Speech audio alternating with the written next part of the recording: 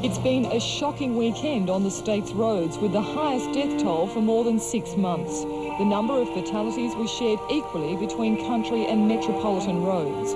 Police and other authorities have blamed a combination of speeding, drink driving and poor road conditions.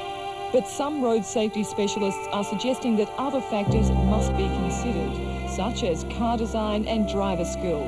They say that a mixture of defensive driving techniques and upgraded vehicles could bring about a dramatic reduction in the number of crashes on the roads and therefore a reduction in deaths and injuries.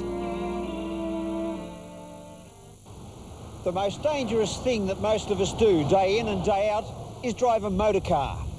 And it only takes one lapse of concentration and one small problem and you have a disaster. Even at low speeds, a modern car can be difficult to control in an emergency. The problems of heavy braking can see the car taking over from the driver. Some vehicles, though, respond better than others. And we're not talking about the make of car. We're talking about one of motoring's giant safety breakthroughs, the anti-lock brake system, or ABS. ABS is standard on some cars, optional on others, and is a giant advantage for any driver in avoiding skids and maintaining control in an emergency. Panic is normal in an emergency, but ABS prevents the tyres from locking. This means that the driver can still steer the car and the vehicle doesn't go shooting off in the direction that it prefers. You won't necessarily shorten the braking distance, but often the ability to be able to steer the car in an emergency is all you need for safety. There is one problem with ABS, but it's easy to overcome.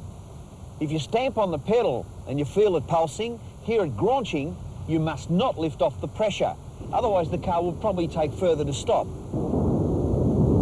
If you feel that pulsing, if you hear the noise, keep the pressure on and you'll get the shortest stop.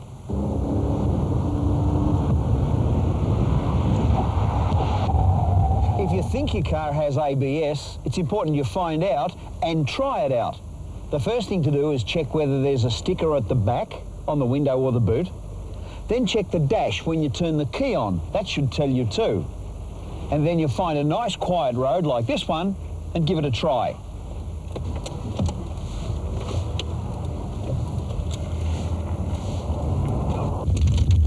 By the way, as newer cars are continually being developed, the pulsation and noise is getting less with every new model.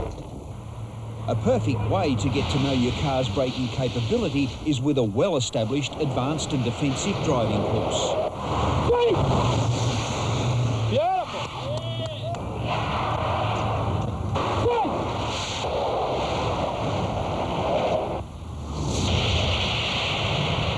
While ABS is ideal on a bitumen road, care is needed on gravel, on loose surface roads, where braking distances can be shortened with lockup. With your tyres locked up, they push the loose surface away and can get right down to business on a harder surface. And the loose material builds up a barrier, a small wall, in front of the tyre to halt the tyres even quicker. But while lockup stops you shorter in the gravel, you can't steer away from a hazard. And sometimes the camber might head you into a ditch.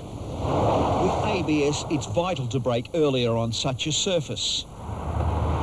In general terms, anti-lock braking is excellent value because it can be so helpful in a variety of emergency situations.